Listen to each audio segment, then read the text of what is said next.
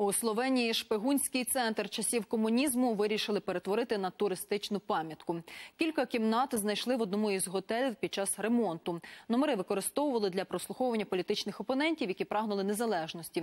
Нині ж планують водити кімнатами туристів.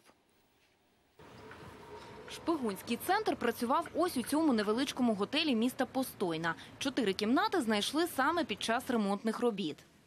Їх виявили випадково, коли ремонтували готель. Я ретельно все перевірив і запитав, чому не прибрали залізні двері. Адже ми вже на той момент опрацювали майже 11 тисяч квадратних метрів площі.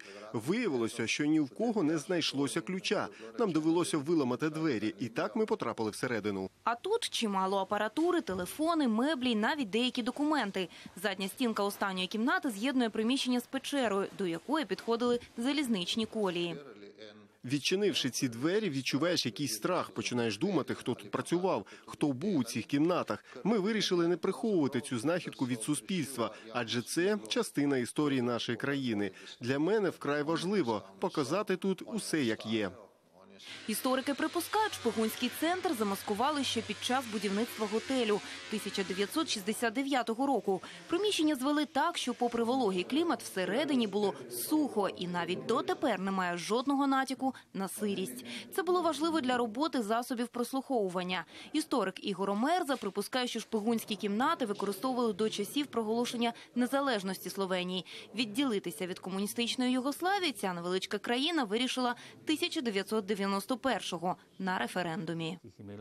Ця кімната була одним із центрів прослуховування, яким керувала так звана таємна політична поліція Словенії. Тут мали відстежувати і прослуховувати політичних противників. Досліджуючи архівні документи, я знайшов 45 таких місць, але мені ще не вдавалося знаходити точні адреси, тільки міста. Словенія вже 13 років як член Євросоюзу. Про комуністичне минуле тут згадують неохоче. Утім, заради туристів шпигунський центр вирішили залишити в першопочатковому вигляді нічого не змінювати. Туристів приваблюють цікаві історії. А тут саме такий екстраординарний випадок. За допомогою експертів можна вивчити всі предмети всередині кімнат і проаналізувати роботу, яка тут велася за комуністичних часів від 1970 до 1980 року. Але в жодному разі це місце не можна використовувати з ідеологічною та політичною метою. Охочих відвідати це унікальне місце поки що небагато. Зацікавилися лише кілька турфірм, які хочуть показувати своїм клієнтам, як працювали тодішні шпигуни. Ганна Ільїних, новини телеканал Інтер.